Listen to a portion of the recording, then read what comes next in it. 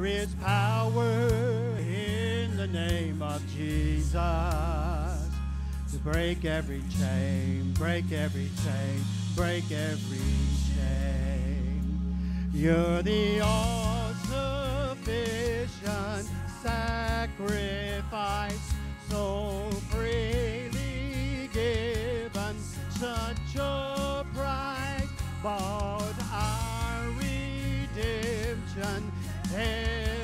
Gate swing wide.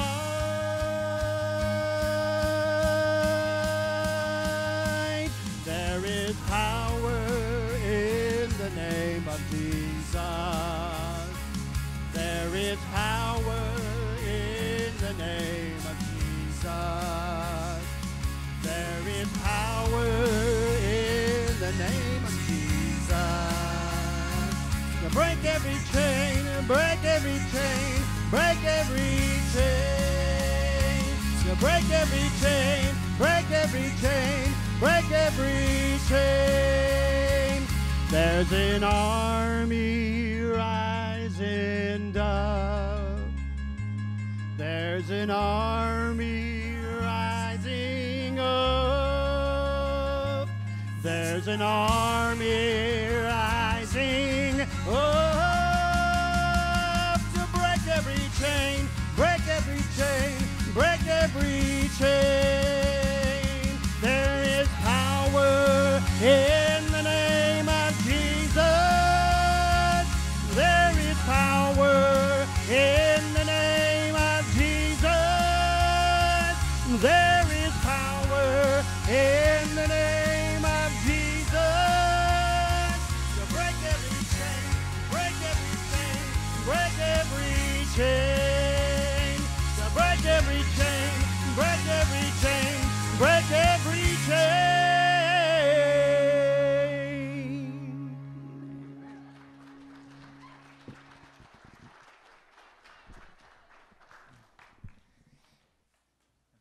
God's people said, Amen. Amen. I want to, on behalf of Burgin Baptist Church, I want to thank you all for being here. Uh, we're honored that uh, you've taken time of your day to help us honor the Lord Jesus and to celebrate with us where God has brought us to uh, this exciting day. And um, when you think about this exciting day, it's good for us to think about our church history just for a, a few moments. Um, as a church, we have sent uh, members of our church to Poland, uh, to Africa, to Greece, to go share the unchanging message of Jesus. Also, we have been on trips to Ohio and then Tennessee and in Utah to share the good news. And I know this is a true thing. I know this uh, firsthand that we've been all over this state, up and down, all across it, sharing the love of Christ by serving and by building things and sharing our faith. And this is where we are today. God is equipping us today, uh, in the weeks to come, to serve our community in ways we've only ever dreamed of before. Amen? That's where we are today. And uh, we're going to have a tool at our disposal that will give us a platform that we've never had before to reach our community with the love of Jesus and uh, the good news about forgiveness found only in Christ. So today, uh, we're glad you're here to uh, celebrate with us, with us as we break ground. And it's a vision God has given us many, many years ago. Um, I think this is a, such a true statement for us today that good things come to those who wait, not hesitate. Amen? So we're, we're, we're moving forward today, and I want to welcome and recognize Net Construction. If you all would please stand. Uh, Blake and um, Mark, and their better halves are here with them as well. Uh, behind every good man, there's a good woman, right? We know that for sure, and we appreciate uh, them so much. Uh, we have, uh, they have walked with us for about three years, I think it is, roughly.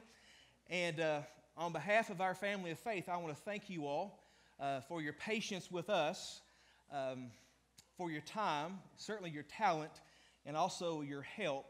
And we look forward with anticipation to be finished in three months.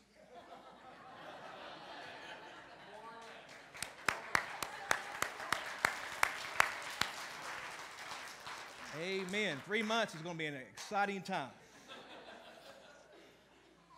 Also, I want to thank those who um, are our elected officials. Uh, we appreciate your support and uh, being here with us today. Uh, your simple presence, we thank you for serving our communities. We certainly do. And uh, to our family of faith, um, it's really hard to believe that we're here. It seems to me that we've talked about this, prayed about this, and talked about it like it's never going to happen. Amen?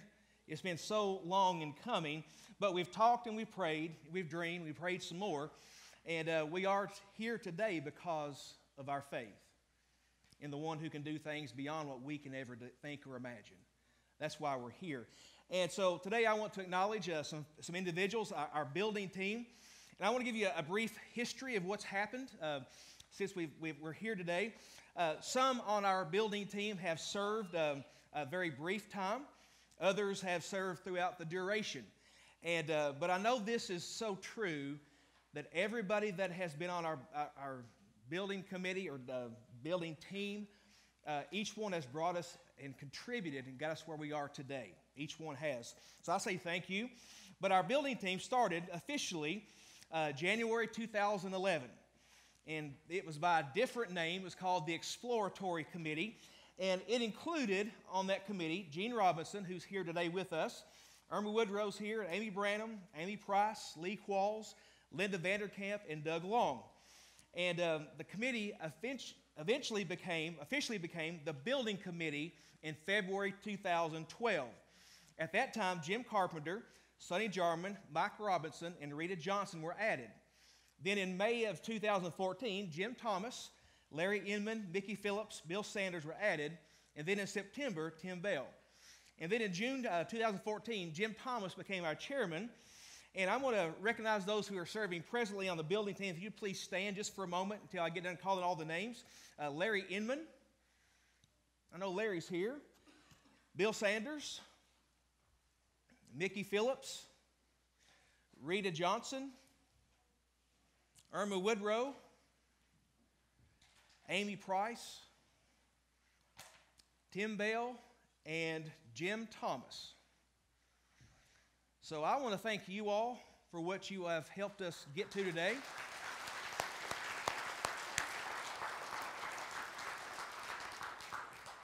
And uh, your prayers, your contribution, what you brought to the table, the time, your talents, all those things, we appreciate it. But I'm going to give Jim Thomas just a, a, few moments to share with us. And uh, uh, so, Jim, please come.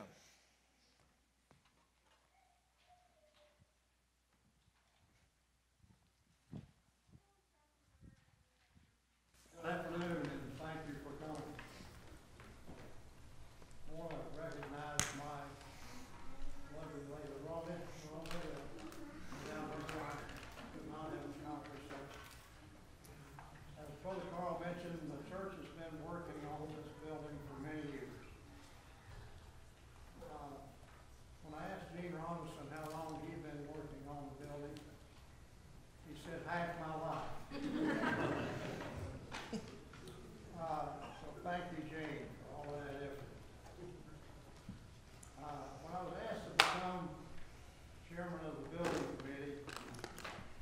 I knew two things. One, I knew that I could not do this.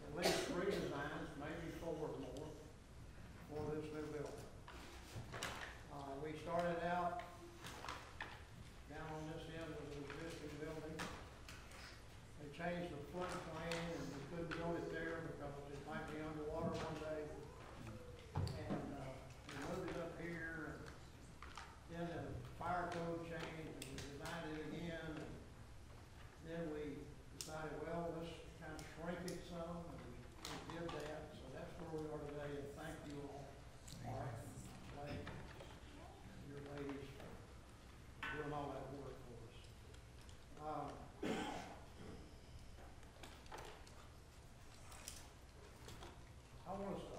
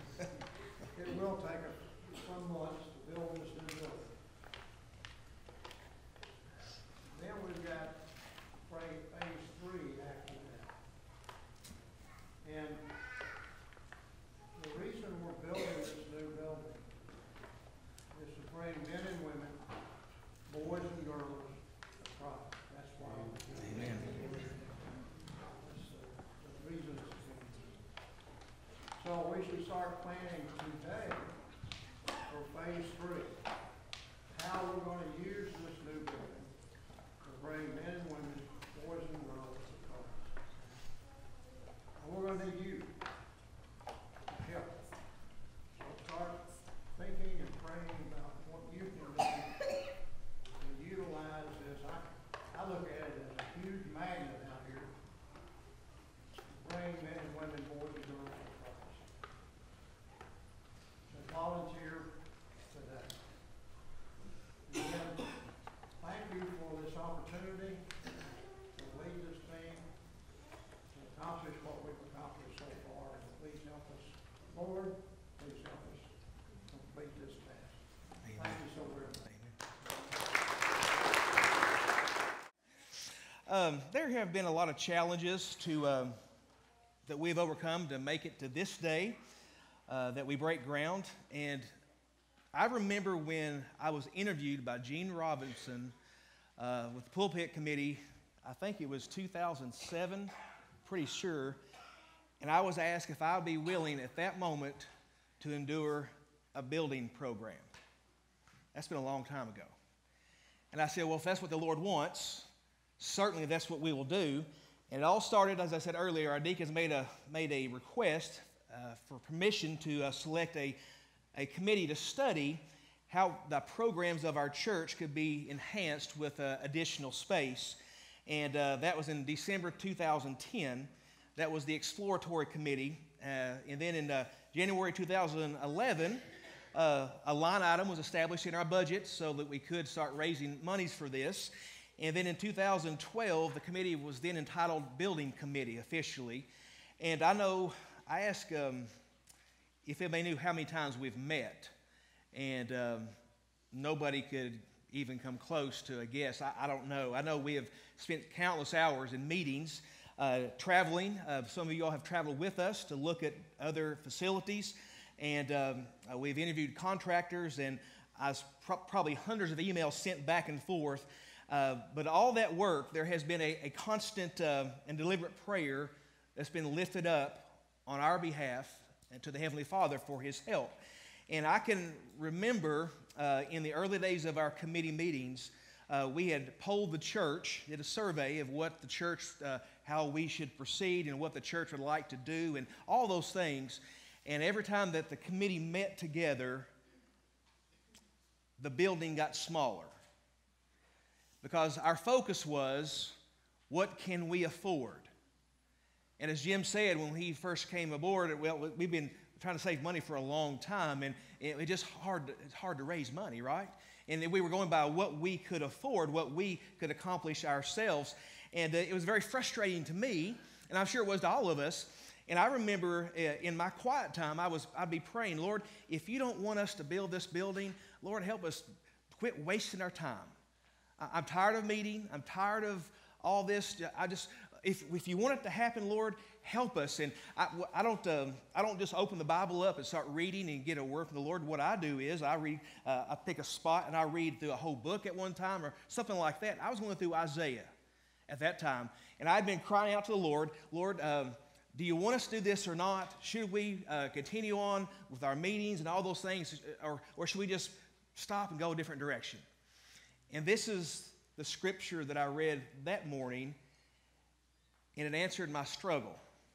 See if you can catch on. It says in Isaiah 54 enlarge your house. It's pretty clear. Enlarge your house, build an addition, spread out your home, and spare no expense. It goes on to say, For you will soon be bursting at the seams. Fear not, you will no longer live in shame. Don't be afraid. There is no more disgrace for you. You will no longer remember the shame of your past. I shared that with the committee, And uh, together we talked about that at great lengths. And we decided that Lord had spoken to us and we embraced it. And that is really when things began to change within our church body. We started making decisions based on faith. Well, we can't afford that, but still, maybe that's what God wants. And everything kind of changed. And uh, another scripture that's been uh, that God's placed before us, I know I've uh, shared it on Sunday morning, Sunday night, and Wednesdays numerous times that I see, can't seem to get past. In Matthew chapter 9, it says, according to your faith, it will be done unto you. And uh, I remember those week long meetings we had. I don't know the year, I didn't look it up, but the year where each part of our ministries of our church, what we did, we had a week long meetings Monday, Tuesday, Wednesday, Thursday, and we invited our church members to sign up for one of those days. And the building committee, the contractors, and we would sit and we would share the vision God had given us and we would talk about what we were going to do with it, all those things. For four nights we did that. And I remember that fateful Sunday we voted the following, next, the following week, and we voted 85% to build we reached half the funds necessary. Now, until about uh, three weeks ago, I didn't realize what that meant exactly. I, I just had my mind clouded. But if you're going to build the building or start building the building when you have half the funds, where's the other half coming from? You talk about a step of faith. That means, I guess, you're going to either raise it all real quick or borrow it, right? That's what you would assume. I, that never even entered my mind. But uh, you talk about faith, and I remember having that thermometer in the foyer and watching it inch up ever so slowly. And uh, we kept planning and kept praying by faith. And uh, I remember on a Wednesday night, for some reason, we started thanking God for the resources to pay for the building. Yet we haven't got the design plan all finished yet. We started thanking God for the laborers who would step up and help uh, do ministries in the new building that we're thinking about by faith. Then we started thanking the Lord for the, the ministries that would take place that we have yet to dream of. We were just thanking the Lord for what He was going to do. And then um, I remember um, the phone call I got, the text messages I got, and I remember getting a letter in the mail concerning God's miraculous provision for us. You talk about just shouting ground. Uh, you're, you're, you're stepping out on faith. You don't have the resource to do anything anyway close to this magnitude, and God just provides. That's the God we serve. Amen? So I remember, in, uh, we went from having little to much. And uh, it's been a challenge, though, when you think about it, because uh, when we have little, it's easy to think by faith when you have little, but when you have much, it's easy to revert back to the old way of thinking and start walking by sight. So we had a few faith exams along the way, but I praise the Lord that today we're here because of our faith in Almighty God and because of His gracious hand upon us. And um, so may we never forget, never forget that God honors faith. He honors faith. And uh, we've dreamed of this day, we've prayed for it, and we've asked for God's help, we've asked for His wisdom, asked for His guidance, His knowledge, and uh, to do in us what we're not used to. And He's been doing that a great deal. But underneath all of our requests, we've been, I think you could say, we're asking for God's hand. God, keep your hand upon us. Help, help us as we, as we follow after you. And in the book of Nehemiah, we, uh, uh, Nehemiah, he spoke of, uh, he was asked of how he expected to rebuild the wall around Jerusalem. And his answer was simple yet profound. He said, The gracious hand of God is on us. And my, my friends, that's why we're here today, because of God's gracious hand. Let, let's just pray just for a moment and thank God for his provision and his hand. Father, we thank you so much for today, and we are standing where we are because of your gracious hand. We thank you for your provision. We thank you for the vision you have given us. We thank you, Lord, in advance for the laborers and the workers, uh, the ministries that will be done. And God, we praise you for the moms and dads and the boys and girls that will enter your kingdom because of our obedience. God, we thank you so much. In Jesus' name, amen. Now, you know the reason why. I'm sure you do, but I want to remind you why are we doing all of this? Well, let me tell you why we're, we're doing all of this is because it's what we believe. Now, this is something we started doing not too long ago, but this is what we believe. We have this little bracelet we wear, and the first little symbol is a heart. That means that God loves you. Amen? He gave His Son, He loves us. He created all that we see because He loves us. God loves us. But the problem is, the next little symbol is a division symbol. That top dot could symbolize God. The bottom dot can symbolize us, and that line is our sin that separates us from God. So God loves us, but there's a problem. But the good news is God came to our rescue by sending his son. The next symbol is a cross. See, Jesus came, he lived his life, and he, he sacrificed himself so that we could be saved. He stood in our place, taking God's wrath on our behalf so that we could be forgiven of our sins.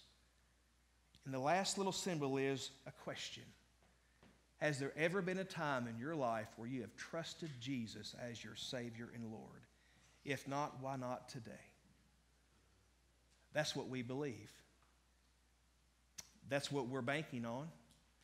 That's why we're building, because we want to share with our community the love that Jesus has for all people and the salvation that he will offer to all who will believe. Amen? That's why we are here, and that's what we're, why we're doing. And uh, this new facility, when it's built, the purpose of it all is not for any of man's acclaim. The purpose is to lift up Jesus. That's the purpose. So uh, let me ask you a question. I mean it with all the seriousness of my heart. Has there ever been a time in your life where you turned away from your sin and you turned to Jesus and you surrendered your heart and your life to Him? If not, what a great day to kick a building off for that purpose than see someone get saved today. It can happen. See, the God that we serve, He can save. He's still in the saving business. So if you've never trusted Christ as your Savior, with all within me, I would say, please consider what God has done to show His love for you so that you could be forgiven and put your faith and your trust in Him now. No greater thing you could ever do. Now, th- what we want is we want our community to hear of God's love. That's why we're building. We want our community to embrace the love of God. We want our community to experience the forgiveness of God. And after they experience that forgiveness, we want them to join us in helping lift up Jesus. That's what we want. And this new center that we're building, it's going to be a great tool. It's going to help us uh, share that good news to reach moms and dads and boys and girls. That's what it's going to help us do. Now, this is what the Bible tells us. We know this story that Jesus was crucified on Friday. We know that. But on the third day, Resurrection Sunday, the ground began to move. Jesus rose from the dead, offering freedom, offering forgiveness, offering redemption. And it's fitting, I think, today that in faith, we're going to move ground because our Savior moved ground and we have a mission. Amen? Amen. That's what we're going to do. Now, you should have received a wooden stake coming in. About this long, you have those stakes. Now, you were asked to do something with those. Uh, these stakes that you have, if you don't have one, raise your hand. If you don't have a stake,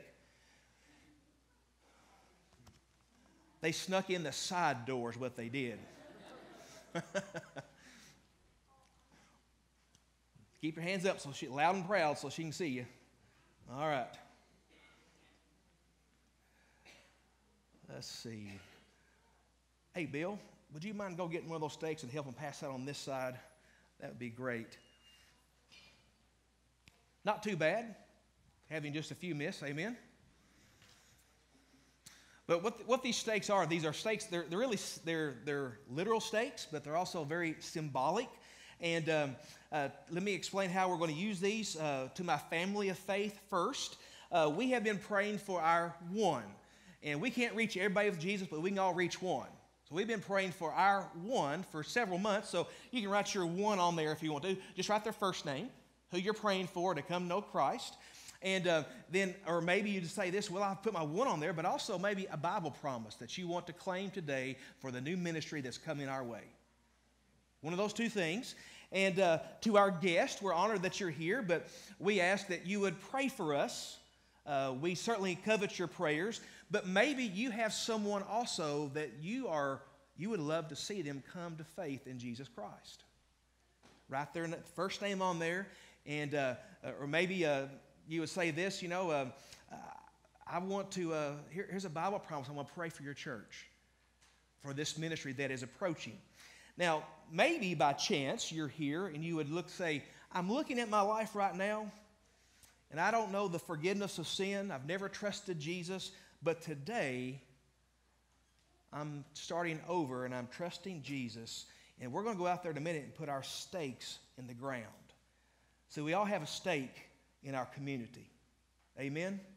We have, we have, and we have some things that we are to do as Christians. So, um, so we're going to do that in just a moment. But let me introduce to, the, to those who are going to have a shovel in their hand. Uh, our deacon chairman, Jerry Shepard, our trustee chairman, Ron Roberts, uh, building chairman, Jim Thomas, and our oldest active member could not be here, uh, Miss Dean, uh, but uh, David Sims is going to take her place. And our youngest member, I believe, is here, Imperia Blackadder. And then we have two of our biggest fans, I guess you would say. Special folks to all of our hearts. Uh, uh, one didn't, under, didn't know till I think this afternoon that they were going to have a shovel in their hand. I didn't tell them. Uh, I was afraid they wouldn't come. Um, but uh, Gene Robbins is going to have a shovel in his hand. And uh, he started this off way back in 2007 when he talked to me. And then Miss Patsy Sims. Uh, they have been two of our biggest cheerleaders, I guess you would say, in encouraging us to not to give up and to keep moving forward in faith. So we appreciate them. Now, as we'll go outside in just a moment, I'm going to ask uh, everybody has their stake. Go on out there and don't wait, just stick it in the ground. Put that stake in the ground and then just kind of watch where you see the dirt's been turned up just a little bit out there. And uh, those who are going to have uh, shovels in their hands, uh, they're on a table out here to your right. And if you'll walk out there um, and if you'll face this direction, because I was told pictures would look better from this side, okay? So uh, we have chairs for those who may not be able to stand the whole time. But so I'm going to pray. I'm going to ask those who have their stakes in their hand to go out there and put them in not the blacktop. That won't work, I promise. Put it in the dirt. And for all the refreshing of rain yesterday, it should go in relatively easy. And uh, if you'll kind of gather around, kind of a circle like around the, where the, the, those who have shovels in their hands, and uh, after they turn the dirt, we'll kind of get around our, our footprint, not the whole thing, but part of it, and we'll pray, and then we'll be dismissed. Is that clear? So I'm going to pray, and then if you've got a stake, going out there and place it in the ground, and those who have shovels will be falling right in behind you. So let's pray together. Lord, we love you today, and we thank you so much for all that you have done. We give you the credit, we give you the glory for the great things you have done. Father, if it were not for your hand upon us, we would not be where we are today. And God, we give you the praise. Lord, as we look forward as to what is about to happen, God, we are excited because we know that as a result of our efforts and how you honor faith, that there will be a, more people in heaven because of the way you have provided for us. God, we love you. And we thank you in Jesus' name. Amen. Yep. Let's pray together. Father, we thank you so much for today. We thank you for this time. We thank you for the season uh, that is ahead. We ask for your blessings. We ask for your help. We ask it in Jesus' name. Amen. Amen. Ready? Yep, ready?